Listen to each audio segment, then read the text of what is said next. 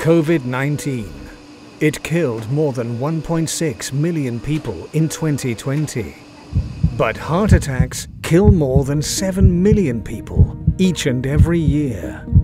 Yet, many people still do not know the most common symptoms. A heart attack is typically a burning, tightening pressure in the chest. It can radiate to the arms and neck.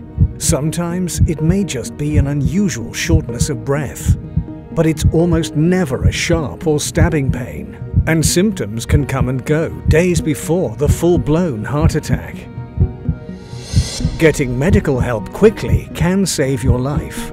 Every minute counts, and hospitals are set up to care for you safely during the pandemic. It's up to you. Never ignore the signs from your heart. You can't pause a heart.